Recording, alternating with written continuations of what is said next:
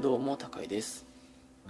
支配者の頃暴き出していく彼らの弱さ。近年急増していってる虐待。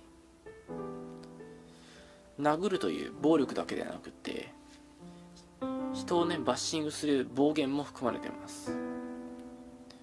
ブラック企業の上司の人たちも部下の人たちに言われる言葉もそうだよね、まあ、暴力もそうだしこれらの支配者側の人たちがなぜやってしまうのかについての要素についてこれから話していきます。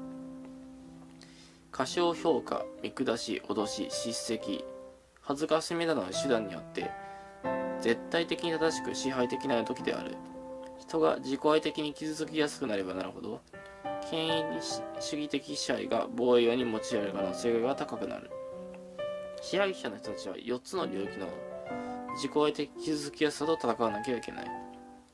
1理想化を促し自分が無力でないという不安を防衛するために優れた専門的技量と権力を示す誘惑。2絶望競争任されることへの恐れ。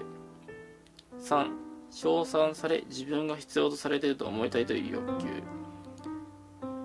拒否されるのではないかという不安を伴う。4自分の名声特に機関内への名声の関心。いかに支配者側の人たちが自分自身の心が弱いかっていうことをね理解してもらいたいっていう動画でもあるし。そのね攻撃を受けてるあなた自身被害者のあなた自身に対しての実はこうなんですよっていうような話をねしたいがゆえにこういう動画撮ってみました。チャンネル登録お願いします。画面の右上のボタンを押してください。それでは。